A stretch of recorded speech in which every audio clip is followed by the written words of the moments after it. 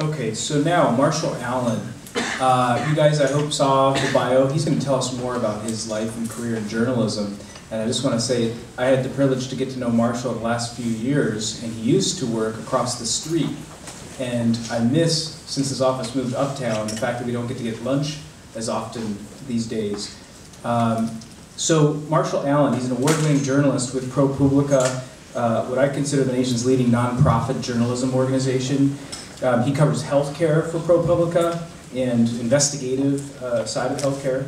And uh, his works appeared in places like the New York Times, USA Today. He's been on the Today Show talking about his work, and many, many other outlets. Uh, he's been a Pulitzer Prize finalist and received the Goldsmith Prize for investigative reporting from the Harvard uh, University Kennedy School of Government. So with that, let's welcome Marshall Allen.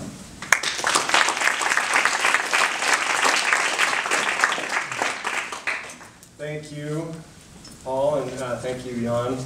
And thank you all for uh, coming tonight. It's cold and rainy night.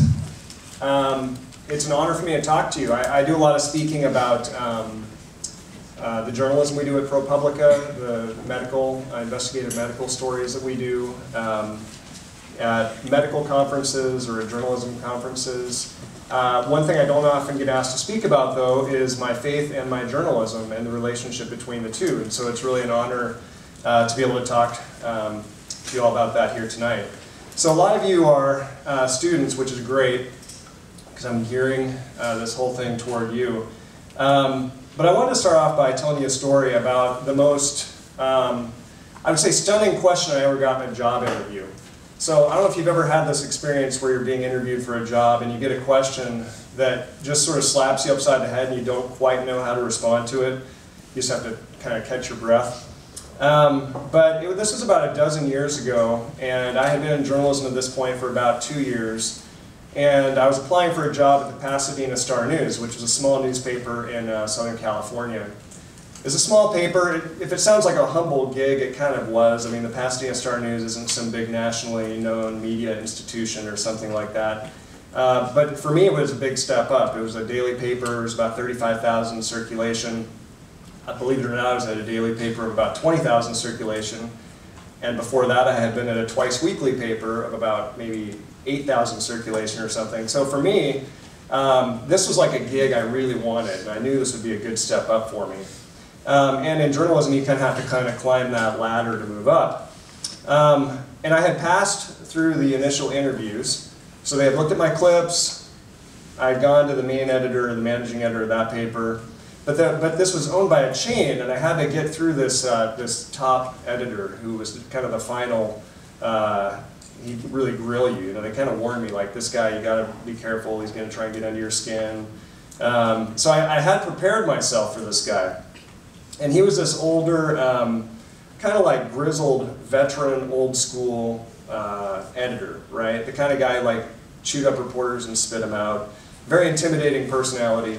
Um, so I, I, was prepped, you know, I, I, wasn't like afraid of the guy or anything, but um, he looks at my, um, my resume and uh, he seemed to have kind of a scowl on his face, but to be fair, maybe he was just puzzled, you know, because my resume was a little unusual. Um, I had been in full-time ministry for five years on staff with Young Life International, which is a big, um, large Christian youth organization, evangelical organization, and some of our young lifers uh, who work with my kids are here tonight. Thank you for coming. Um, and I, three of those years were in Kenya, so um, I had a missionary background, right? So three years with Young Life in Kenya, two years um, at Young Life headquarters. Um, then I had gone to seminary, to Fuller uh, Evangelical Seminary, which is uh, in Pasadena, California. At the time, it was the largest evangelical seminary in the country. I'm sure it still is probably the biggest one. I mean, I don't know for sure if it's still the biggest, but it's um, a big uh, evangelical school. And I had a master's degree in theology from Fuller. And he looks at me and he says, So, what makes you think that a Christian can be a good journalist? And I was like, I mean, I didn't quite know what to say. I, I, I, thought, such an unusual question. First of all, I thought, my first thought was, does his HR director know he's asking questions about my religion and implying I don't know what I'm doing? But, because um, it wasn't really probably an appropriate question. Um, But at the same time, it was a fair question because, um, and, I- and I want to talk about, that's kind of the theme of what I want to talk about. What, what makes you think that a Christian can be a good journalist, right? Um, and it was an unusual question, and yet it wasn't. I mean, for, for whatever reason, um, there aren't a lot of people who are evangelical Christians who are in the mainstream media. So, in a way, it was a very natural thing for him to ask. But on the other hand, uh, and the answer I gave him is that um, there's a lot of reasons why uh, it's pretty easy for a person who's uh, devoted to uh, Christ to be a good journalist in the mainstream media. Um, the Bible talks about telling the truth. I mean, that's a very fundamental Christian value. Journalism is about telling the truth. These are the, this is the answer I gave to him. Um, you know, a, a Christian is supposed to be a person of good character and integrity. And in journalism, your character and your integrity and your reputation are really your only calling card that you have with your sources. If they trust you, they will call you back. If they don't trust you, they will never call you again. So as a, as a believer, if you're a person of character, um, that's going to help you in the field. Um, journalism is about speaking the truth to power, and that's also a very biblical uh, value. To have the courage um, as, a, uh, as a Christian to tell the truth no matter what the circumstances are, no matter who you're telling the truth to, that's a biblical value that's also consistent with journalism. So I told the editor, I said, I'm not saying, I explained these things to the editor, and I said, I'm not saying you have to be a Christian to be a good journalist. I mean, obviously there are many, many excellent journalists um, who are not uh, Christians, but you know, far from it being contrary to my faith, I mean, my faith is what makes me a better journalist. Um, and so I, th I think for me, being a Christian makes me a better reporter. And so I'm going to be better at delivering what you want for your newspaper. Well, he didn't, uh, he didn't actually give me any uh, response. You know, I sort of thought, well, what's he going to say? He didn't say anything, he didn't really react. I did get the job, um, which was very good. Uh, and so um, that was another uh, step in the process of kind of climbing the, uh, the career ladder for me. Um, that's, that's a funny, it's kind of a funny story, but it, it also, it is a little misleading about what it's like for me to be a Christian in the media. Um, it always gets a reaction, you know, when I'm at a conference or, or something like that, and someone tells me, oh, what'd you do before you were in journalism? I say, oh, well, I did ministry, or I went to seminary. That always, it always evokes a response from people. It's a good conversation starter. Um, and so I am something of, of, a fish out of water, but at the same time, um, it's, it's not so unusual that people care that much about it. So I think sometimes we make too big of a deal about it, and people get too fixated on the whole thing. I think most of my colleagues don't really care at all. I mean, my editors, I think, don't really care at all. I think what they really want me to do is deliver really good stories. Um, so I always put my ministry experience and my seminary background um, in my professional bio, um, because so if you go on to a ProPublica site and read my bio, I put it in there. Um, because I want to be open about my faith, I want it to be a conversation starter.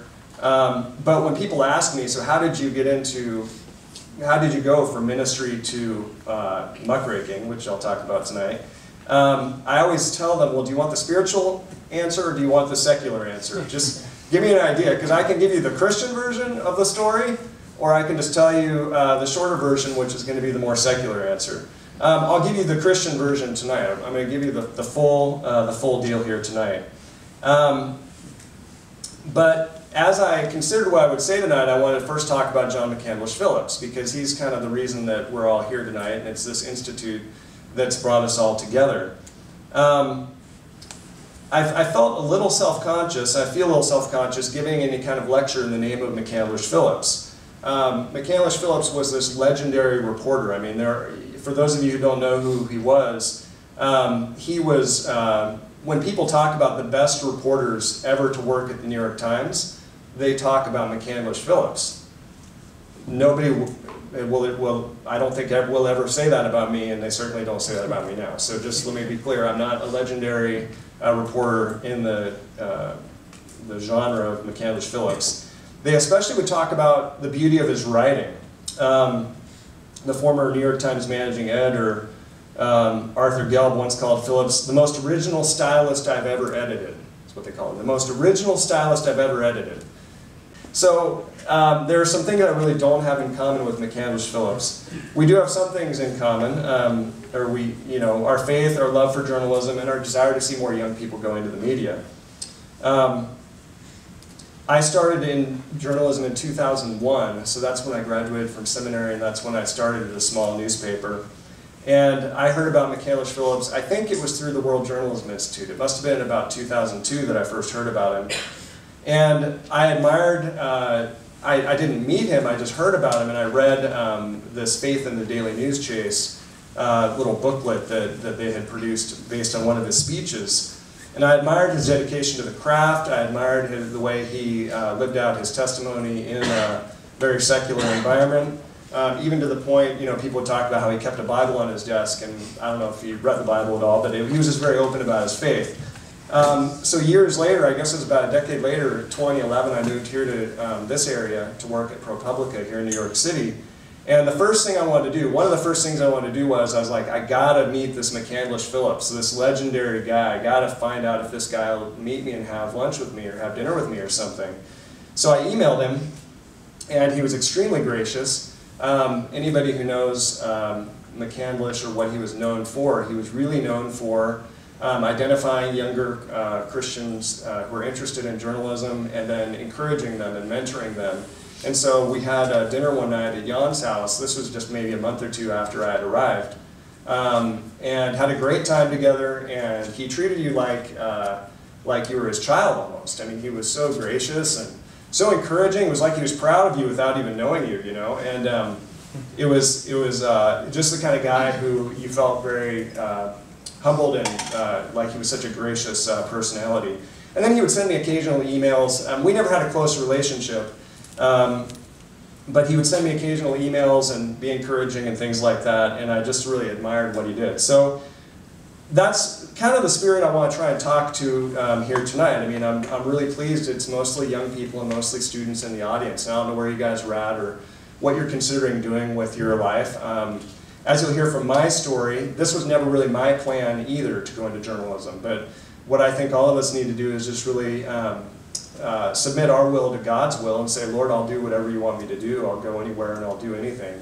Um, and so as you pursue that, if journalism is something that you feel God leading you to do, um, I'd love to talk to you about it. I know Paul would love to talk to you about it and others.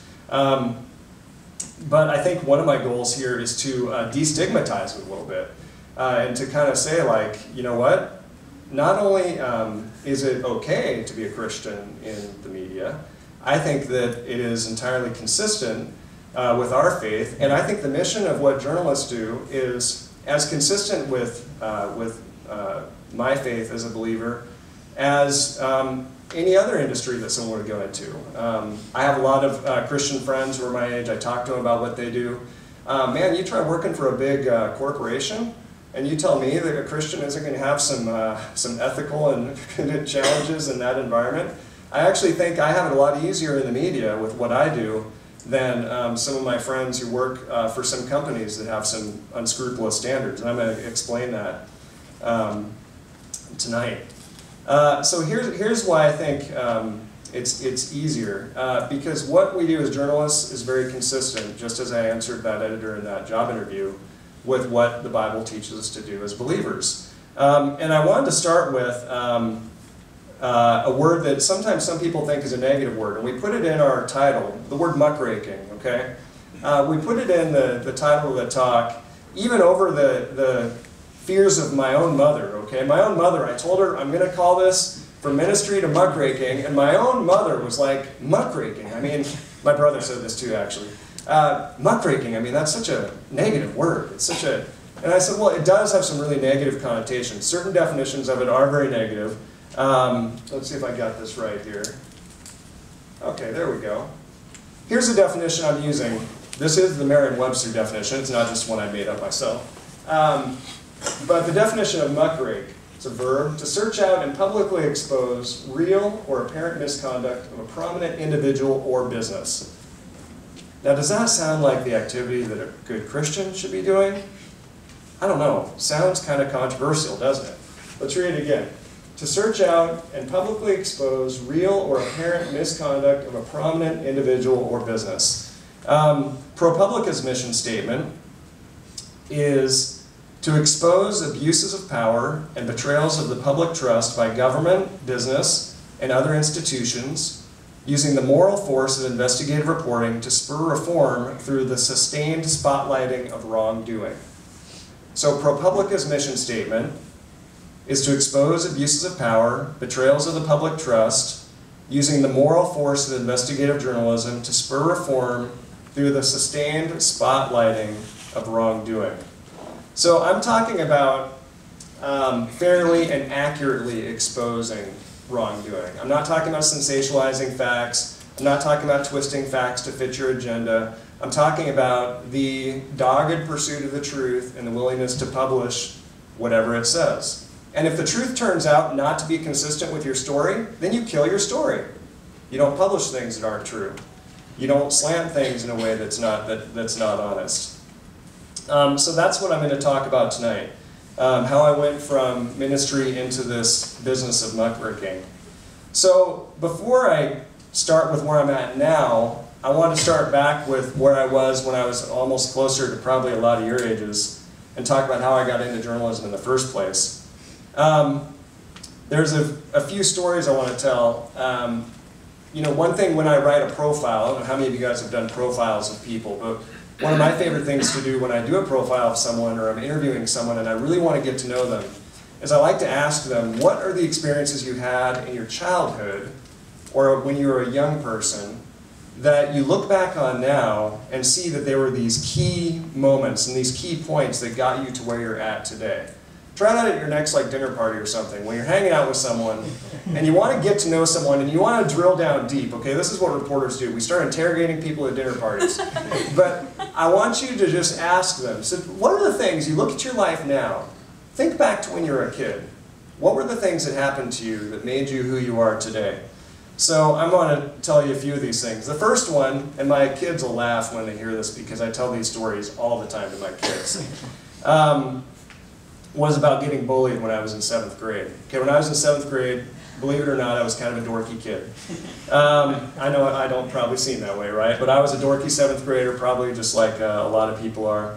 Um, and uh, there was this bully in our school, eighth grade kid, big kid, um, and I was a skinny little seventh grade kid. Anyway, this bully, what he would like to do is he'd pick someone different all the time, and he'd go up to you, and his sort of MO was to grab you, get you in a headlock, and then he'd just like spit on your head. He'd hawk a big old loogie and he'd spit it right on your head. Okay, that was this bully's style. Um, so, and he was known for it, right? So you don't, you know what's coming when he comes your way. Uh, and I'm standing there by the tennis courts with my buddy Tim out on lunch, minding my own business, I can promise you. And this bully comes ambling over, and he's got two little sidekicks with him. Uh, and he starts, you know, pushing. He, there's a, there's a build up to the spitting on the head. It, it wasn't just sort of an immediate spit, uh, thrust of the spit. Um, so he, uh, you know, starts kind of picking on you, calling you names, shoving you around a little bit, turns into a scuffle. He gets me in the headlock. He spits on my head. This was on a Monday. And I did not like that at all. I can tell you that right now. But I was not a fighter, okay? I, I, I, wasn't the kind of kid who was aggressive. I wasn't the kind of kid who wanted to get in a fight. The last thing I wanted to do was get in a fight with this kid. But Tuesday came along, and here he came again. And it happened again. He pushes me around, he starts calling me names, asks me if I want to fight. No, I don't want to fight. Come on, come on, you're afraid. Yes, I'm afraid. he grabs me, spits on my head. I did not like that at all. Went to the bathroom, washed out my hair. The next day, lo and behold, here comes the bully again. Okay, and I don't know, I don't know what happened inside of me, but this kid, he comes up, he starts calling me names, he starts pushing me around. And I was like, look, let me tell you something right now. I don't care if you beat me up. I don't care if you want to show your friends and everyone else that you're tougher than I am, and you're gonna like beat up a seventh grader, you're the big eighth grader, you're gonna beat up a seventh grader and show everyone how weak I am and how strong you are, that's great. If that's what you're gonna do, then do it. Beat me up. But do not spit on my head. And you know what was so funny? I mean, I just I braced myself. I was I was like, I'm just to get the crap kicked out of me right now. And you know what he did?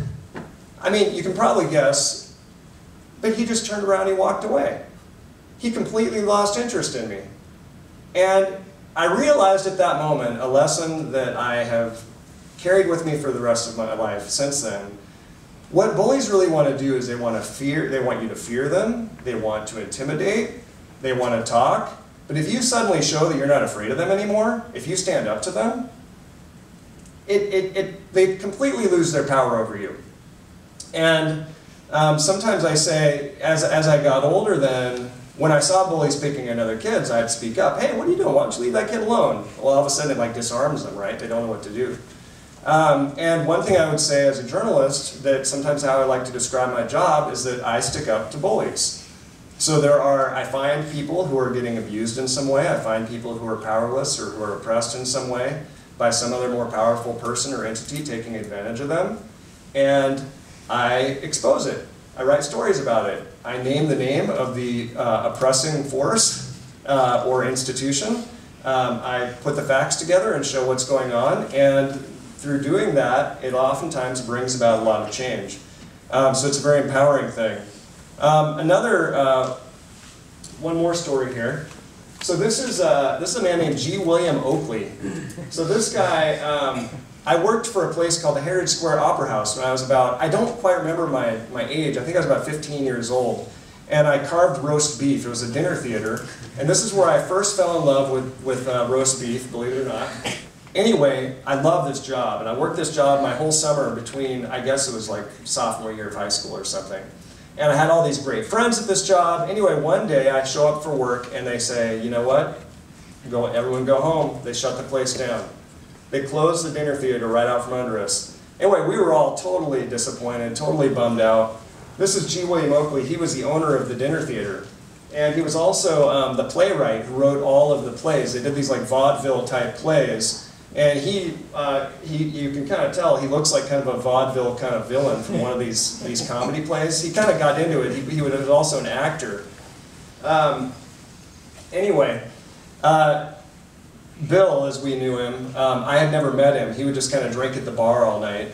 Um, and none of us, I mean, I was just a little lowly uh, worker on the, on the buffet line. I mean, I didn't know Bill.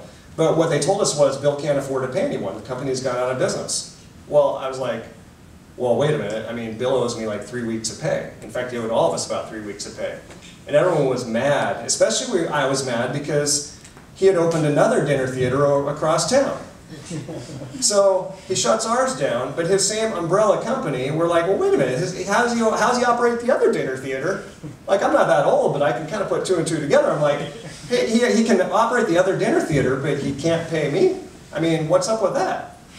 So a bunch of us, we were mad, you know, we're all in like high school, we didn't know what to do. A bunch of people went and started picketing the other dinner theater, like, Bill doesn't pay his high school employees, you know. Uh, and me, uh, I just didn't I'd get into that very much. And it was my mom's idea. My mom said, you know what, you should sue him. And I was like, sue him? What are you talking about? I'm at high school. Like, I can't even drive yet. and she said, no, small claims court. You could take him to small claims court. She explained to me what it was, and I was like, oh, that sounds good. So me and my buddy Brian uh, DeMarteau, who's now an attorney, um, uh, he's not actually a practicing attorney, but he did get his law degree. But um, he, uh, my mom drove me down to the courthouse and I pulled the little small claims court paperwork and I wrote, I, I brought it home and I remember writing up the thing about what happened and how I had been wronged and how he owed me this money and put in my claim, I think it was about $340. And um, uh, lo and behold, I, I, turned it in. You pay like 10 bucks to file it or something. I turned the thing in and um, about, I don't know, weeks later, a few weeks later or something, I get this notice in the mail, you have a court date, and I'm like, oh, okay, well, I didn't know what to expect, but I was like, well, I better be ready. I mean, I don't know what's going to happen. So I get all ready. I remember when the court day was coming, I got all prepared. I thought I was going to have this big Perry Mason moment. You know, I was going to like go in, I was going to make my case in front of a judge and have a big oration, you know. And um, uh, I remember going in, it was kind of anticlimactic in one way because it was just some administrative clerk in like a conference room. It wasn't like a real big uh, courtroom scene or anything. But the thing that shocked me most was that there in that room was Bill himself and Bill's attorney. And I was like, what? I was like, I'm like 15 years old and like he had to show up for this thing. Like this is amazing to me, you know? I'm like the power of the system. Um, anyway, so I get prepped for this for this, you know, debate here with with uh, Bill. I mean, I guess it's to be me and his attorney going head to head, right? Um, and and the and the, the judge guy, he just he just looks at uh, Bill and his attorney, and he's like, he he read my little thing, and he goes, hey, is this is this true? What what happened with these kids? Like you closed the business, but you kept the other one open, and you didn't pay their money, and Bill and his attorney were like, yeah. And the guy goes, well, you need to give these kids their money. And lo and behold, he wrote me a check, and I got my money and I left.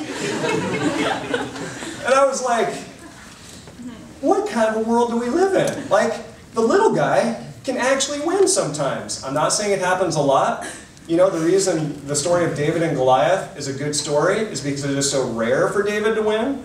Usually Goliath just stomps David. I mean, that's just usually the way these stories work. Um, but what I realized from that story was, you know what?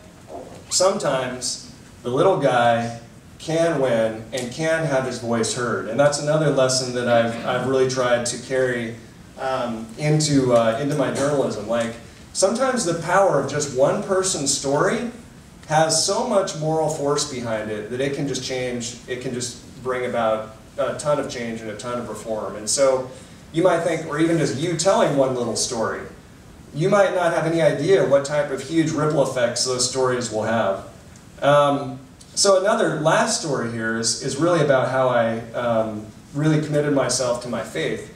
So I became a Christian. My parents were really um, devout Christians and raised me to be um, uh, to follow Jesus. I accepted Christ when I was a kid. I was probably like seven or eight years old. But you know, you don't quite really understand what it's about when you're that age. And when I got to be about 15 or 16, um, I kind of came to a point where I, I realized that the way I'd been living my Christian life was like, you know, Christian on Sunday and maybe at the youth group on Wednesday night. But the rest of the week, I mean, I wasn't like any kind of bad kid in any kind of like way that anyone would think of a bad kid. Um, but I was a total hypocrite. I mean, I was just like, you know, if Peter denied Christ three times before the rooster crowed, I mean, I denied Christ like three times before the lunch bell rang. I mean, I was like, you know, I was very ashamed of my faith because I was so insecure about it. I wanted to be liked by people, and I could tell that other people weren't Christians. And then I wondered, well, am I supposed to do what they want me to do, or what am I? Anyway, I was just trying to figure myself out. Um, but I really realized that like being that kind of lukewarm Christian really wasn't the best option, and it really wasn't something that's pleasing to God. And so I kind of came to a point, like probably a lot of you have, where you reach a point of maturation where you're like, you know, I just need to be open about my faith and be open about who I am and, um, and also put my security in the Lord and not put my security in what other people are thinking about me. And that's kind of a step that a lot of people take. Uh, probably every believer I've ever known has had to make that transition, you know, at some point. Um, but for me, um, it, it, has led me in my journalism then just to be open about who I am and be open about my faith. And the, the really uh, counterintuitive thing is it's, it's never been a problem, you know, so um, I've, I've never had, I mean, you know, there's always going to be somebody, you know, who feels antagonistic about Christians. There's always going to be people who are going to, you know, want to make comments, or there's maybe an atheist who feels like they need to try and, you know, be the person to cause you to have that doubt, you know, or something like that. Um, but, but that's not actually the norm. I mean, most of the time, um, people are very cool with it. Some people are interested, some people aren't. Um, but it's never been something that has um, held me back in my journalism career at all. And um, again, so, so if anybody were to say like um, Christians are somehow discriminated against or something in the media, I haven't experienced that. So maybe that's been the, the case for someone else, um, but that, that hasn't been the case uh, for me. Um, so how did I get to journalism? Well, so I had no career plan, as I think I said. Um, I had no clue. Uh, if you hadn't noticed from my stories, I was kind of a goofball kind of a kid. I had no journalism experience. I had no journalism training. Um, and I had no career plan when I was growing up. I mean, I wanted to, I wanted to be a dad, so I knew that that was important to me. Um, and so I, I grew up in Colorado. Um, I got a degree from the University of Colorado in English uh, because frankly that was just kind of the easiest uh, degree for me to get. Um, and then I met and married my wife Sonia. And my wife Sonia, um, her parents were on staff with a Christian organization called the Navigators. I don't know if you've heard of the Navigators, but it's a very large organization that's focused mostly on discipleship. Um, and they had grown up, she had been a missionary kid. So she was born in Norway and then she lived in Kenya uh, for 10 years. And so when she came to the United States to live full time, she was 15 years old. So for her, when I met her and we got married, I was only 22, she was 23. For her, she always envisioned like living overseas. And so I had never envisioned really anything other than getting married to her. Um, so we looked into some different ministry opportunities and other like teaching English type of opportunities and found this position with Young Life um, doing ministry at the International School of Kenya. Um, we weren't on staff at the school, but basically, you know, Young Life, the way, um, for those of you who don't know, it kind of comes alongside schools and campuses. And um, I served as a coach. We substitute taught. We did a lot of different things there. And then we ran kind of like a Young Life ministry, you know, which really in, in Kenya was more like doing like a Bible study and then lots of really fun events with the students. Um, and really had a great time doing that. And looking back on it now, it's funny because I really loved writing the newsletters, you know, like most missionaries who raise their own support. Um, a lot of them, like the, the newsletters, were like the most burdensome part of it. You know, for me, it was like the most fun. Like, oh, I'm going to do another newsletter. I mean, I had so many ideas and things I wanted to write. Um, it's just funny how like the thing that you start doing naturally, uh, just when you don't have to do it, might be a good thing to try and do for a living if you can find a way to do that. Um, so after three years in Kenya, we came back and I worked in the Young Life headquarters in Colorado Springs. And that's when I started attending Fuller Seminary. Fuller Seminary had a satellite campus in Colorado Springs. I started going to school there. Um, and then that's also where I started freelance writing. So a friend of mine had been freelancing for these Christian magazines, and I was looking at the magazines one time, and I was like, who writes this stuff anyway, you know? I mean, I could probably do that. And he was like, well, the editors, I mean, they need writers, and they don't pay anything, so what do they have to lose? And, um, or they pay very, very little. So I started calling myself a freelance writer, and it's amazing. As a freelance writer, you can just like send an email to an editor and say, my name is Marshall Allen, and I'm a freelance writer, and I have a story idea I wanted to pitch to you, and they don't know who you are or how much experience you have, and sometimes they're just desperate enough, they give you the idea, or they give you the assignment, and then all you have to do is figure out a way to land it.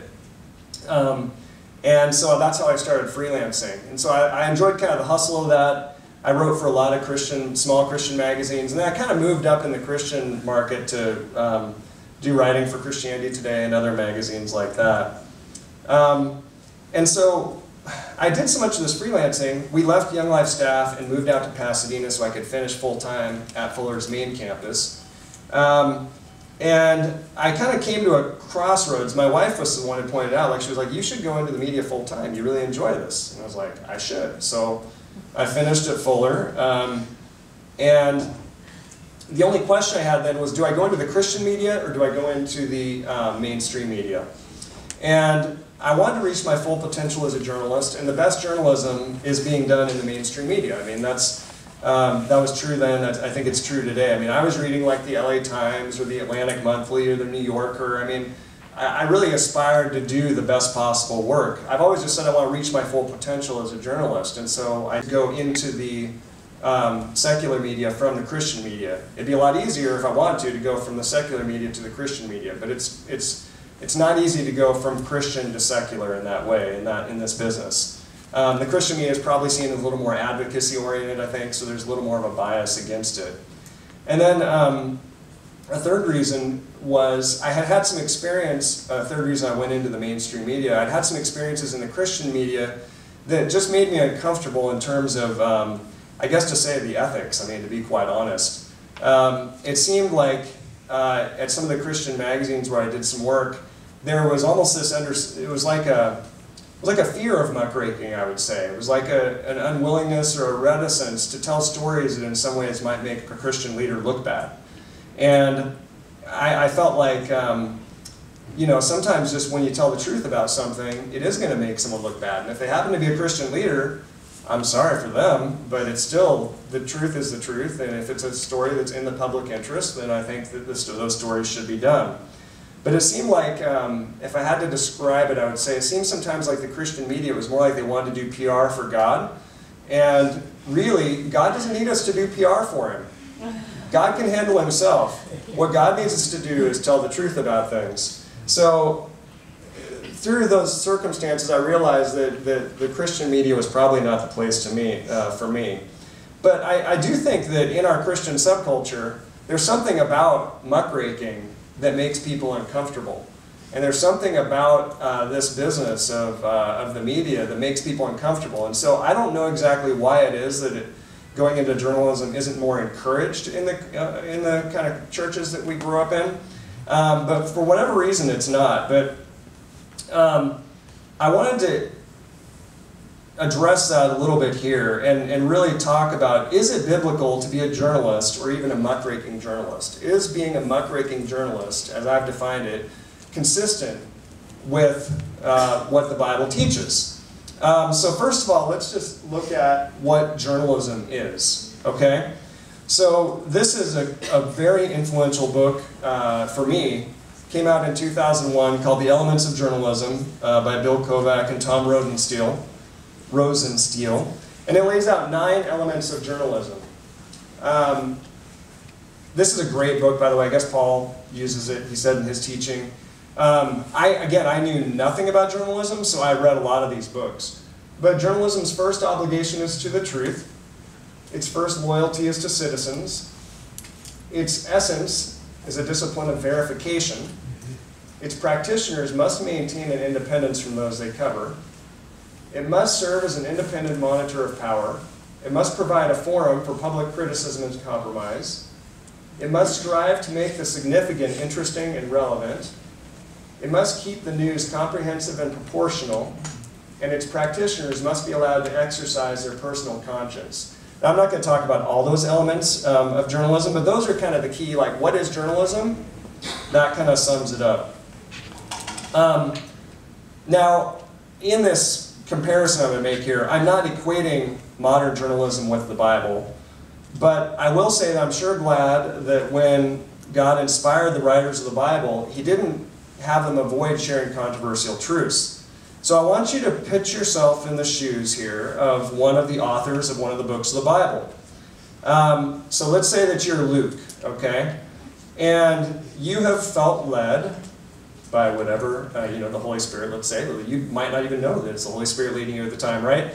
But you feel led um, to document the stories about Christ, and you're going to tell the stories. Um, so I, just for fun, I went through the Gospel of Luke, and I want to think about this from Luke's perspective, okay? So all of us are in Luke's shoes, and here's how he describes his mission um, in uh, the first few verses of the book of Luke. He says, Many have undertaken to draw up an account of the things that have been fulfilled among us, just as they were handed down to us by those who from the first were eyewitnesses and servants of the word. With this in mind, since I myself have carefully investigated everything from the beginning, I too decided to write an orderly account for you, most excellent Theophilus, so that you may know the certainty of the things that you've been taught. So Luke here, I'm not saying Luke is a journalist, but Luke is really fulfilling some of those same roles of the elements of journalism, right? He's going to investigate carefully everything that happened. He's going to um, write down an orderly account. And he's going to do that so that Theophilus and then others, I mean, I'm sure he did know that this was going to be publicly uh, displayed and shared, so that others would know the certainty of what they've been taught. So he has set out to do a lot of things that we as journalists would also set out to do. Verify the truth, publish it, right? So now let's think about what Luke actually published. There is some really controversial stuff um, in the book of Luke. Um, I just went through it and just picked out some. So in the parable of the Good Samaritan, he praises the hated Samaritans and holds them up as, as an example of what it means to love your neighbor, and in the process insults the religious leaders. He has harsh messages. Jesus tells a man who wants to bury his father become, before coming to follow him to let the dead bury their own dead. Uh, that section in um, chapter 11, where Jesus has all these woes, it's basically like Jesus laying the smackdown on all the religious leaders and Pharisees and teachers of the law with some like serious insults. He talks about the cost of following Jesus in chapter 14. Anyone who does not hate, and, hate his father and mother is not worthy of being a disciple. He talks about the exclusivity of Christ. He says, Many will not be able to enter through the narrow door. He shows Jesus driving the sellers and money changers out of the temple. He, he, he tells the story of Judas, okay? Judas betraying Jesus. So this isn't just some Christian leader. This is one of Jesus' main followers, is a total scoundrel, betrays Jesus unto death, sells him out. And Luke documents that in the book and then has the audacity to publish the thing. So 2,000 years later, we're looking at this and we read it like blah, blah, blah, blah, blah. I mean, this was a radical, radical thing that Luke did. In Luke 22, after the Last Supper, um, the disciples, uh, several of them dis- dispute with one another about which one of them will be the greatest. So these are the people who uh, are like the founding fathers of this uh, faith that we have, uh, some of them, very influential. And after the Last Supper, they're arguing about who's going to be the greatest. These are, he's making them out to look like some kind of petty people. And then, and then the, a great one in 22 where Peter denies Jesus three times. Okay, so Peter, you know, the rock upon which the church is built. Luke publishes the story about Peter denying Christ three times. So, just a few observations about Luke. And, and believe me, I mean, the Bible is full of these examples. So, Luke, in writing and publishing this book, made the followers of Jesus look like complete idiots. He also made prominent and respected people of that day look like corrupt and conniving murderers. So he didn't avoid controversy. He named names. He didn't just say, like, one of the disciples denied Christ. He was like, Peter. It was Peter denied Christ. He seemed to go where the story led him. He verified the facts, and then he reported them truthfully in a straightforward manner. I'm not saying again that Luke was a journalist. I'm not saying, I'm certainly not saying that anything that I ever do as a journalist or that we do as journalists is anything like scripture. But there are characteristics and principles that we can take from this type of reporting and that we can apply to our work. So, does this kind of reporting make people uncomfortable? Yes, it does. Yes. Uh, makes people very uncomfortable. Journalists question authority. They don't back down. They don't fall into line. They create controversy. It makes people very uncomfortable. And yet, um, for me, that type of just truth telling really appealed to me. I mean, in terms of my personality, in terms of my understanding of what it means to be um, a, a, faithful Christian, um, that really was something that appealed to me, and I, I hope that it appeals to you too.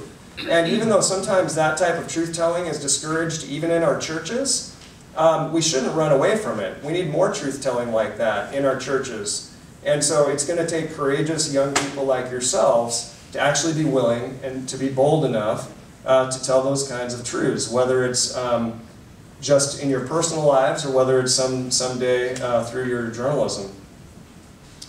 So in terms of when I, so the decision was made, clearly I needed to enter the mainstream media. So then the question was, okay, well, so how do I get a job in the mainstream media? Okay, so I finished at Fuller Seminary in May of 2001.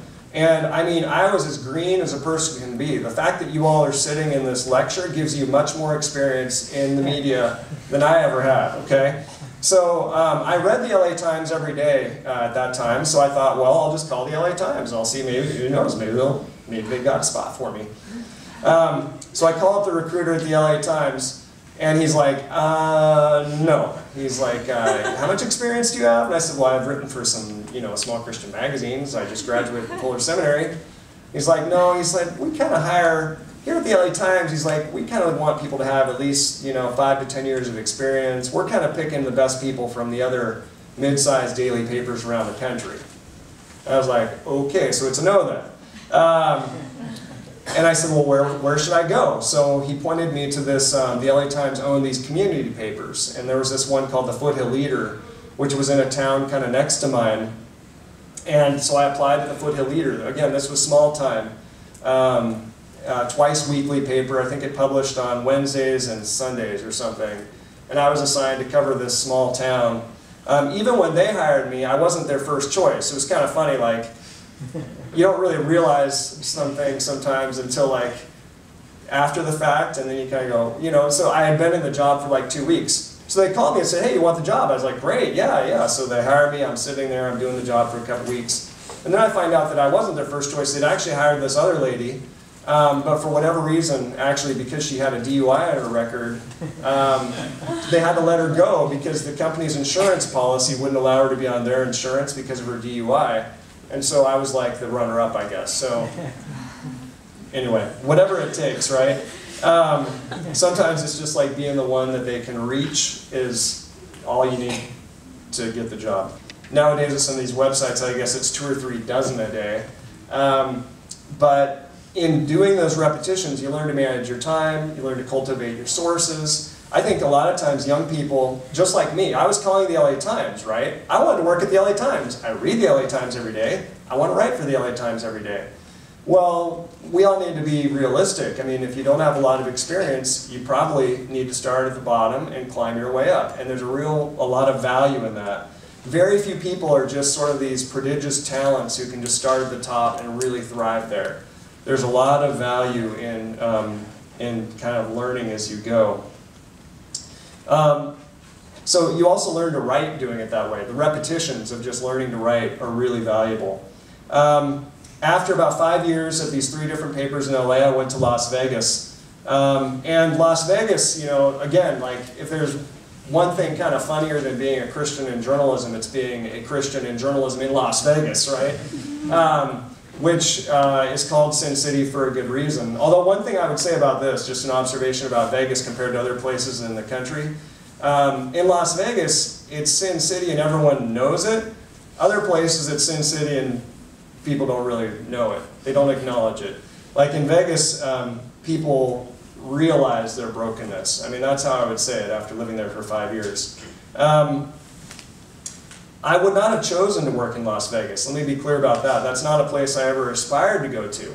Um, but no one else would hire me. I mean, I applied for dozens of jobs everywhere. Nobody would give me an interview. I mean, the media was contracting at the time, and I know you guys are, are dealing with the same kind of thing too if you're looking for jobs. Um, but uh, they were having a hard time getting reporters to come to Vegas because it's not the most appealing place, especially for people with families. They don't want to go there. Um, and so it was kind of the perfect marriage. We were both desperate. We couldn't find any other match. And so I needed them, they needed me. So boom, there I was in Las Vegas, right? Um, but what's funny is that, God, you know, the paper had recently um, revamped itself to focus on more investigative reporting, more narrative storytelling. They hired some amazing editors um, from the LA Times and other great publications. And so it was really a perfect place for me to come as kind of a, a person, I'm still a person who's learning, but I mean a person who's had a key point in his development, to go there under the hand of some really seasoned editors was really valuable. Um, and while I was there too, my editor asked me to cover healthcare. And honestly, the first words out of my mouth when he said, he took me to lunch, he's like, I want to talk to you. Marshall, we want you to cover healthcare. And I said, I can't imagine anything more boring than writing about healthcare. Um, and that's honestly how I felt. I think I had read so many lame stories, like especially uh, in healthcare, you get scores of press releases every day. There's so much money in it that if you want to be a journalist who just turns around stories off press releases, I mean, it'd be a really easy thing to do. But I was so wrong about it being a boring beat. Um, what I realized right away is that healthcare is so deeply important to people's lives. Um, I also learned, in terms of my interest in um, investigative reporting, the healthcare system is so dysfunctional in this country. It is so broken, and it is, it is such need of reform that there are great investigative opportunities all over the place. And I don't mean just broken in a minor way. They say, they estimate that between two and 400,000 people a year die because of harm that they suffer while undergoing care in hospitals. So medical mistakes, medical errors, infections, preventable injuries are killing hundreds of thousands of people a year in this country. And it's not getting better. All the estimates are that it's getting worse. Also, healthcare is huge money. So it's about a fifth of the US economy is spent on healthcare. And in 2009, there was a study that the Institute of Medicine put out that estimated that $765 billion was wasted by the medical industry. And that's, for reference, that's more than the entire budget of the Department of Defense. So we are wasting hundreds of billions of our taxpayer dollars and our insurance premium dollars in healthcare every year. Um, as soon as I started doing um, uh, healthcare stories, I, I just had so many crazy individual stories, and my editor wanted me to do a deep dive investigative story about why healthcare in Vegas was the way it was. Like, was there something about Las Vegas that made the healthcare worse? Um, and actually, I don't think that there is. I think that the, there's problems with the healthcare everywhere in this country. Um, but I collaborated with a colleague of mine uh, who does data work, uh, Alex Richards, to publish this project called Do No Harm. And with this project, what we did is we took um, publicly available data for the state of Nevada and we analyzed it to identify injuries and infections and deaths that occurred to patients in the hospitals in Las Vegas. And we published each hospital's number of these types of injuries and infections and problems in a way that um, had never been done before. So you could actually see how some hospitals, um, just kind of quantifying the amount of harm that was taking place. And I talked to dozens of patients who had been harmed and made this a big project. Um, that, was a, that was a project that uh, won a lot of awards for us. That one published in 2010. And then in 2011, I came to ProPublica. I just celebrated my five-year anniversary with ProPublica. And I continue to cover healthcare with an emphasis on um, the problem of patient harm, uh, which I talked about earlier. ProPublica, for those who aren't familiar with it, it's funded by philanthropy. It's been around for about eight years. Um, it is um, you know, the mission is to do watchdog reporting. I, I read the, the mission statement earlier. We have about two dozen more what I would call people like me, like traditional reporters, and then we have about a dozen um, journalists who are focused more on data and programming. And if that's something that interests you at all, or if you have any leaning toward that, there is a huge market right now in journalism for uh, journalists who have data skills. And so if you want to like, you know, um, have an angle, an edge uh, for a job, learn to use data in a really smart way and you will be marketable right out of the gate. Um, anyway, like I said, I just, uh, ProPublica has won two Pulitzers in the last um, eight years since it's been in existence. And I think the thing I enjoy most about it is that um, each of the journalists there is a really world-class investigative reporter, and it's like a lab for investigative reporting. And so my colleagues are publishing groundbreaking, very interesting work every single day that makes me think, man, I need to bring my A game today. Like I have got to to uh, to keep doing what I do and get better at what I do because um, it's just a really healthy competition. And I, I, don't mean that in a bad way. I mean that like we, I think we inspire each other to do better work. Um, uh, one thing I've enjoyed about ProPublica is um, the opportunity to kind of use some creative methods for investigative reporting. So we do a lot of crowdsourcing. I've been doing this project with a colleague of mine named Olga Pierce, who's um, one of these uh, data, she can do everything, but um, she does a lot of the data stuff for the work that we do. And um, one thing we did was we started this Facebook group for patients who have been harmed while undergoing medical care. So this is a group, it's a public group on Facebook. It's about 3,500 members now. I moderate that every day.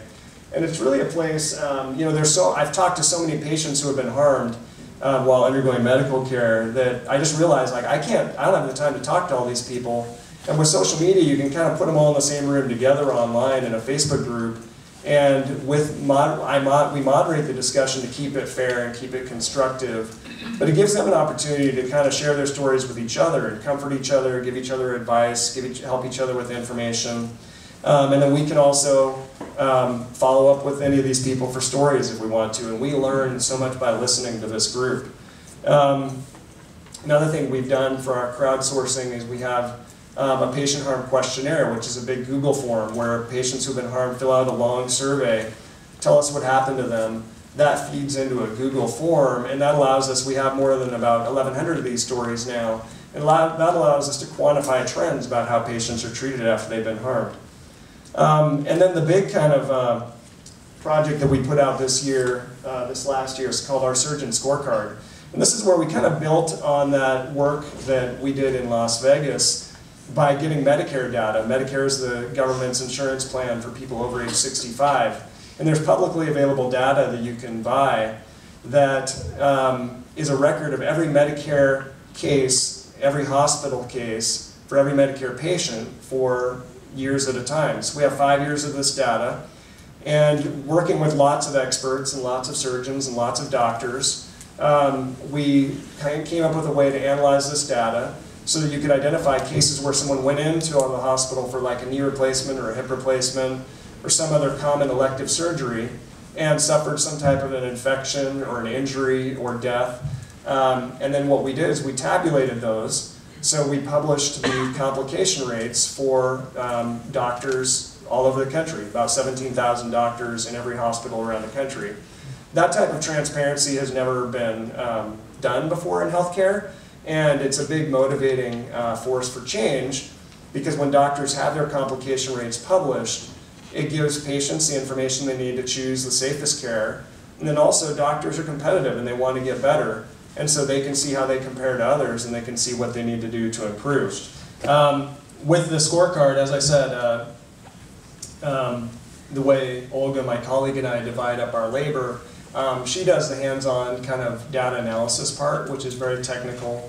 Um, I don't have those data skills. Um, what I do is I go more out in the country, um, go to hospitals all, all in different states, talk to doctors, talk to patients, share their results with them, um, write the story, things like that. Um, and it, it was a, very fascinating project to work on. I think the biggest surprise for us was just how few hospitals and surgeons are actually tracking their own complication rates. And so, you know, in order to improve something, you have to measure it.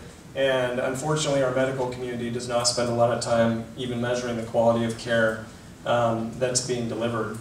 Um, the scorecard um, had some uh, explosive uh, response. I mean, the, the, it's a searchable news application, so you can go to the website, you can type in the name of a surgeon, you can type in your location, you can type in a hospital, and it'll pull up the complication rates uh, for people near you. Um, and the, we got a lot of uh, response. I mean, um, millions of people have used the site.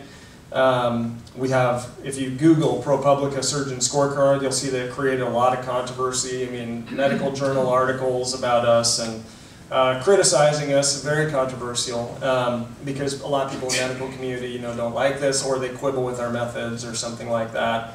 Um, but it's also had a very positive response in the medical community because in hospitals around the country, um, I hear from people talking about how they're focused on uh, reducing their complication rates uh, like they never have before because now this information is publicly reported.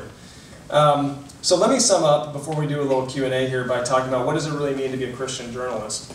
And um, I would say it's like being a Christian in any other field. I mean, I I'm, don't mean to destig I'm trying to destigmatize this a little bit.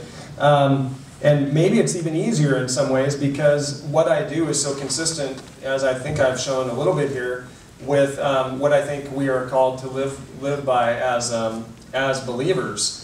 And so, like a believer in any field, I try and focus on doing what I do with excellence under the Lord. I try and focus on being a person of integrity. Um, like a believer in any other field, when I make mistakes, you know, I try and admit it. You know, I've had I've had times at work where I've mouthed off to someone in an email in some way I shouldn't have, and I've had to go apologize to them. I mean, you know, I think um, I think these are things that a Christian in any field would do. Um, I try and be receptive to criticism, you know, when my editors try and like guide me or correct me or tell me to do something that they want me to do. I try and be receptive to that and I try and learn um, from them and others around me. And I guess like anyone in any field, I'm being stretched and growing and, and that's kind of what it means to live the Christian life. Um, so thank you for this opportunity to talk. Um, I'm looking forward to questions. I, I, hope you all have some questions. And um, if there's anything I haven't talked about that you are curious about, please uh, let me know. Great. And the mic's right behind oh, you, Allison. Okay, thanks. Um, I'm Allison uh, from Abilene Christian in Texas, and this might sound like an uninformed question, but would you ever consider publishing like some of the nurses their like malpractice or anything? I know there's plenty of them. Like that would take forever, but Yeah, like you mean stories about malpractice? yeah. Yeah, it's pretty much like that's what I do every day. Do you include nurses though? Because I know Sure. they. Oh, great. I mean, what I've been focused on with this project is surgeons and surgery.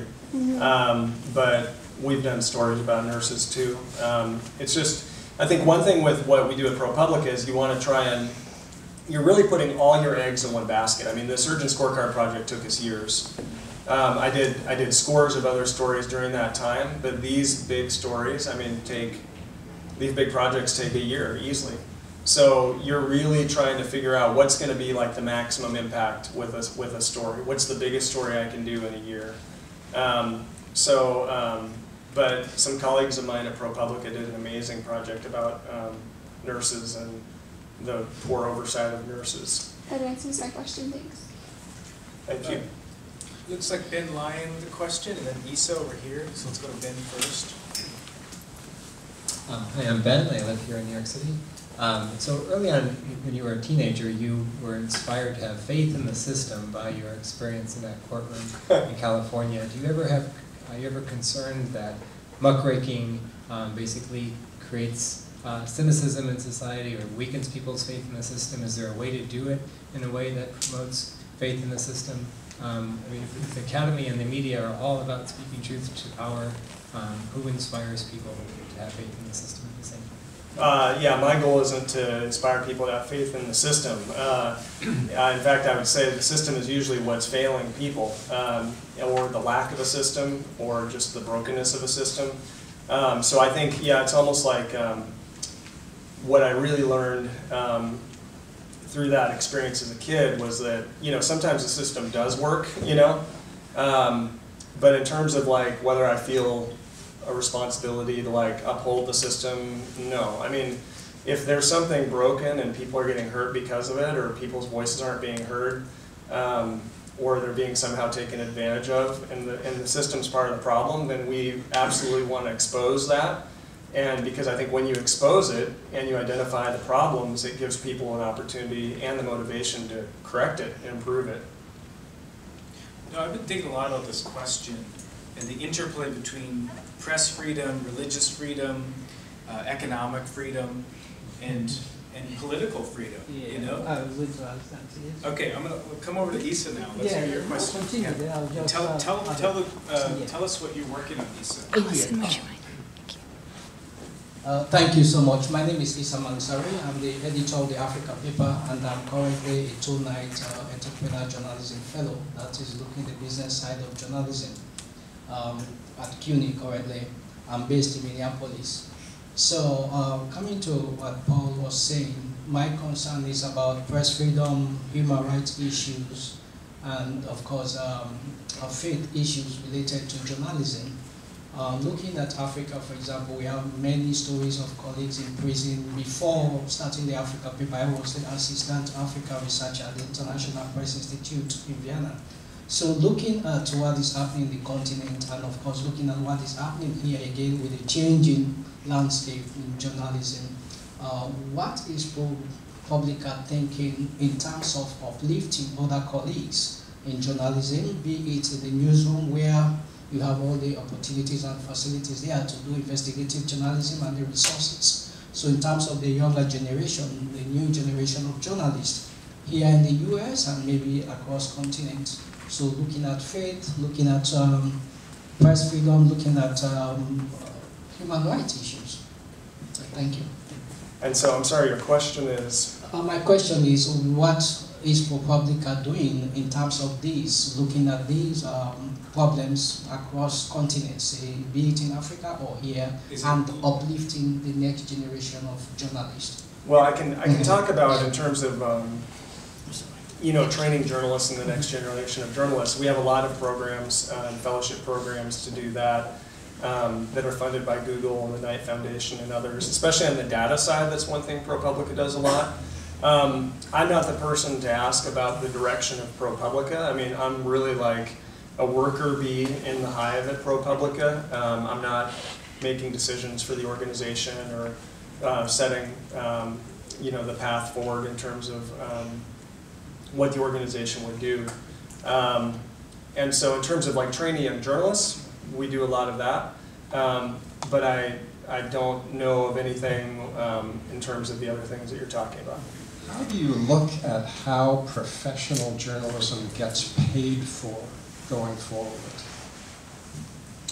Well, that's kind of a question that's a little bit outside my pay grade. Um, honestly, I am so consumed with my day-to-day um, job and trying to deliver um, these top-notch investigative projects that I, I honestly, to be, I don't, I don't spend a lot of time studying or thinking about the pay models or things like that. Um, you know, ProPublica is obviously probably what, if not the highest profile, one of the highest profile of the nonprofit kind of journalism models.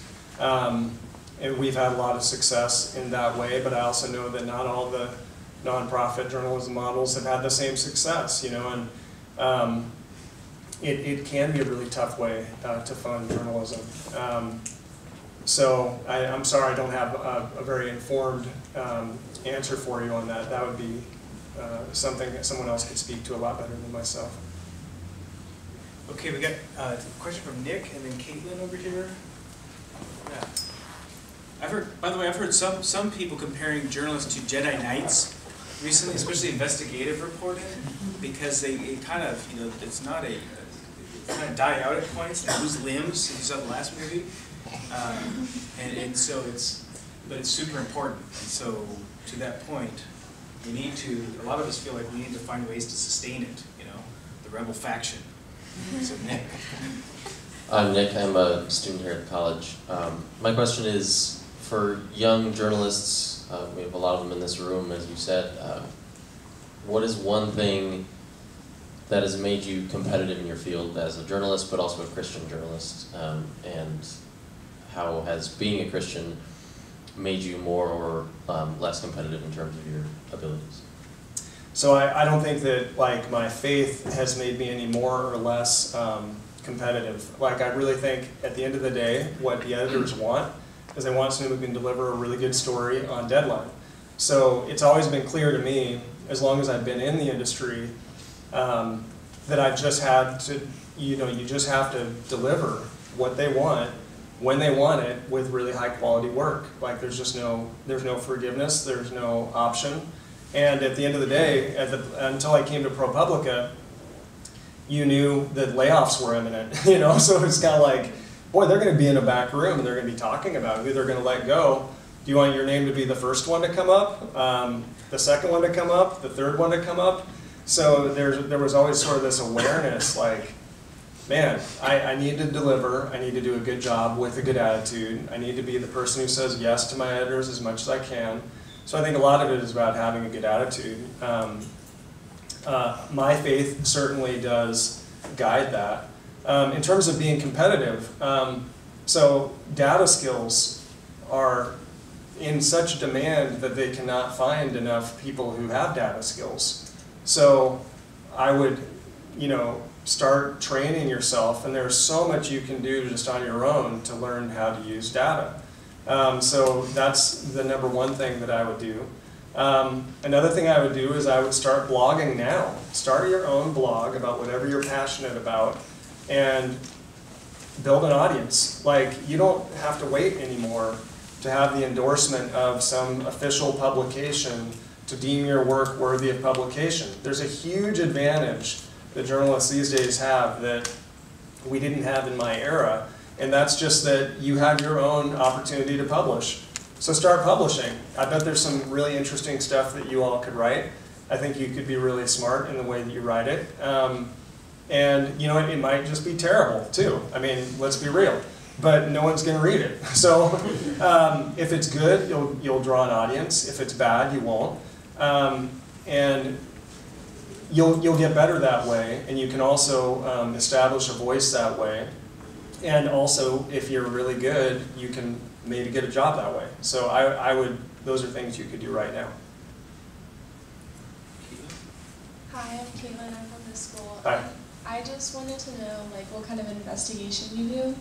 Is it usually just from data, or do you ever go behind the scenes and do like FBI stuff? Like undercover stuff? Yeah. No, so ProPublica, like, um, I think, and I think like the undercover stuff is like totally fun to watch, like on, you know, whatever the TV show is, whenever they do those things. Um, we don't do, so like journalists have no, we have no authority like, you know, a, a FBI agent or a law enforcement agent. We're just like normal citizens who are just nosy um, and persistent and who, who won't go away. Um, so we don't do anything, I don't do anything like undercover or anything like that. Some journalists do use some undercover methods, you know, hidden cameras, things like that.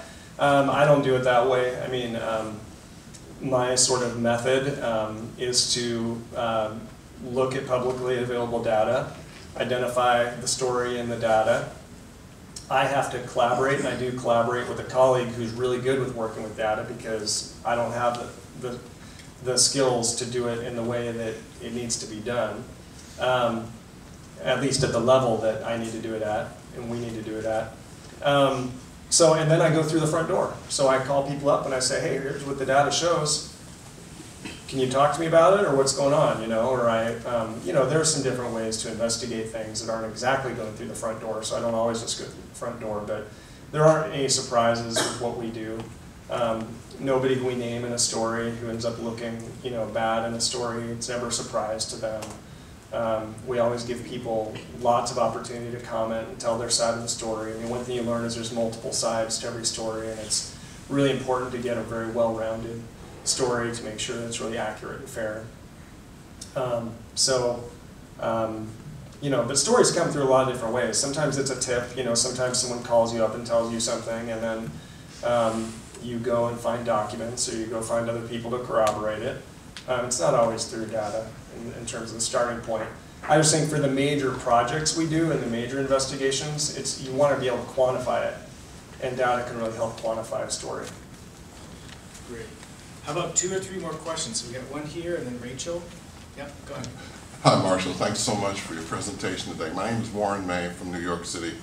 And uh, you mentioned earlier that when you tell people about your background, it evokes uh, a response. And I was wondering, when that happens, do you get an opportunity to share your faith in that, in that situation? Or um, do people ask more about that? Or uh, how far does it go? And also, uh, what do you think is the role of a Christian in journalism with respect to uh, telling people about Christ, or, or, or just describing or explaining some of the issues that we have in the, in the media today when we're talking about Ted Cruz and Ben Carson and these people being Christians, and we talk about the Muslim situation that's going on. Uh, what do you think is the role of Christian journalists with respect to explaining that, and what kind of opportunity do you get to talk about your faith? So I mean, I get tons of opportunities to talk about my faith because again, it's in my bio, and so it comes up a lot. Uh, it comes up with sources. It comes up with, um, uh, especially like conferences or if people ask, you know, what you do before you're in journalism and that kind of thing. Uh, that's one reason I ask them sometimes when they ask, how'd you get into journalism? Or sometimes I've had people say like, what are you doing here? Or, you know, like, did you have a crisis of faith that led you into journalism? Um, I mean, these are, I get those kind of questions a lot. And so then I tell them, like, do you want the spiritual answer or do you want the secular answer? I can give you, if you really want to know, I can give you whatever response you want. I can give you the long version and the spiritual version, or I can give you the short version. Tell me what you want. And usually people are interested, they want to hear about it. Um, and I think in terms of sharing your faith, I mean, I, you know, um, you know, I think in, in Peter it says, you know, always be prepared to have an answer for anybody who asks you about the hope that you have, but do so with gentleness and respect. And so um, I try and do that with gentleness and respect. Um, but again, um, it's not something. And then in terms of like, um, so that's just that's just interpersonal relationships, though, right? Or friendships you have with people, or um, you know, it's just a sort of natural way that you interact with people, I guess. Um, but I but I found, uh, you know, I, I've I've been in newsrooms where I've known there are other believers who no one knows they're a believer. You know, they're they're kind of hidden about it, and I think that creates a real problem for them because then there's no opportunity to talk about it. Like you, then you have this sort of side of yourself that you're not, you know, that you're not really talking about, and then it becomes more awkward to ever talk about it. So what I found is just by being open about who you are and what you believe, I mean, people are pretty cool with that. Like, most people aren't that interested, and that's okay. I mean, it's up to them if they're interested or not. I mean, you don't force yourself on people. Um, and then there are always some who are going to be antagonistic. And then I think uh, the goal there is to not get into arguments, you know, or not get into like a fight about it. You know, I mean, it's and and you know sometimes with people who are uh, antagonistic, you know, I'm always up for a debate. You know, so um, uh, you know I have to be careful there not to turn it into something where suddenly we're arguing or something about this. You know, because these are colleagues and these are people we need to always be respectful of one another. Um, uh, I'm not quite sure how to answer your question about in terms of my faith influencing the work. Um, I don't, you know, um, covering healthcare, it doesn't really come up a lot. Um, I used to cover religion uh, when I first started. Um, and there, I mean, I would always be explaining, you know, whether it's Christianity or some other faith. I mean, and there it's just accurately reporting the story. So it's letting people, it's showing them the respect to listen carefully to what they're saying and accurately represent what they're reporting. And, you know, if they're not a Christian, I mean, I, I have no um, need to like, um, you know, slip in something that undermines what they're saying or something. If it's a story about something else, you, you report the story and report the truth of, of the story. Um, right now would be a really interesting time to cover politics because you would have more opportunity, I think, to, to do something like that. Um, and I don't, again, I, I mean, it's a natural part of the story that I think could be addressed, you know. Okay, Rachel, Claudia? Hi, I'm Rachel. I'm a student here. Thank Hi. you for talking with us tonight. Um, when you transitioned from the mission field to journalism, what specific in what specific ways did you hone your journalism skills? Did you have mentors, or did you just write and write and write? What would you have um, for how we as young journalists can hone our skills? So there's lots, I mean, when I was freelancing, all those editors who would end up um, rewriting my work, you know, sort of served in a mentorship role because you turn something in. I mean, you know, I didn't know anything. I mean, I didn't know how to write a lead. I didn't know how to write a nut graph. I did not know a thing. I had some instincts, so I knew what a good story was, and I'm a people person, so I could kind of talk to people and get them to tell me stuff. But in terms of shaping it into a cohesive story, I mean, I was completely clueless. I mean, I could, you know, I'm not trying to make it sound like I was that bad, but I mean, I was really, I was really pretty bad, considering considering this material was getting published. So in terms of mentoring, um, you know, I always wanted somebody to kind of be like very proactive about mentoring me. And I remember we, um, when I was at the Pasadena Star News, actually, I had this great editor who had um, been at the LA Times for like 30 years, and this guy was just a seasoned uh, editor. And I remember asking him one time, I was like, hey, could we do some kind of like a little workshop kind of thing, or something about how to write a lead, or, um, you know, kind of a brown bag kind of lunch thing? And he, he looks at me and he goes, Marshall, I like to think of every day around here as a workshop. and what was, what was clear to me from that is that he, wasn't, he didn't want to spend any extra time holding my hand, but what he was going to do every day is show me how to do it. So I think the main, the main way I've learned and grown is through the editors who have um, kind of coached me and guided me along the way, usually just by um, correcting what I'm doing wrong or telling me to stop doing that thing or telling me do more of this. I mean, they're your, they're your bosses, but they're also like much more experienced, seasoned editors. And then they also have the um, advantage of having distance from the story. You know, when you do all the reporting and then you write it yourself or you produce this piece, you don't have the perspective, you know, you're kind of like, so you're so deep in the weeds that you can't really tell what the story needs to become a really great story. And so the editors can just step back and help you with that. Um, but usually it's more through um, a punishing process and a painful process of them just correcting you than it is like a nurturing, you know, we're going to like, you know, help you in, in a really kind of like soft way, you know. I don't mean that in a mean way. I just think it's a matter of fact, especially when you're on a deadline and you've got to crank this stuff out. They're just getting it done. Um, uh, I have had to, I've, I've pursued like through organizations like the Association of Healthcare Journalists is an awesome organization where you can get more mentoring, get connected with a more experienced um, uh, journalist to uh, mentor you. So um, Investigative Reporters and Editors is another great organization. All these organizations have mentoring programs for younger journalists.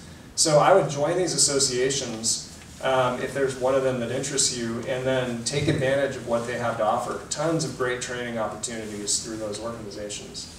there's a few journalism professors in the room too, so would you, have when you were at Colorado, would you have liked, looking back, would you have liked to have taken an intro reporting class? Yeah. To learn how to, how to do It would have been these things? great. Yeah, I, I don't, I don't think it's a good idea to just jump into the media without knowing what you're doing. Um, but, uh, it's just sort of how it happened for me, but yeah. And like internships, I mean, yeah, it would have been great. I would have loved to have had an internship, some classes. My editors would have, would have thanked those professors a lot. They used to send me home with the AP style book, you know? Like, they'd be like, hey, read this tonight. I didn't know what AP style was, you know? So I start working at a, at a small paper doing two or three stories a day. I mean, imagine being my editor. I'm like cranking out these stories without knowing how to do it with proper style. I mean, patient, patient. Yeah. There was, I saw another question somewhere in the back. How about that's our last question, and then we're gonna, we have plenty of food and drink, and I know some people probably have to get home, but let's, uh, we'll make this the last question.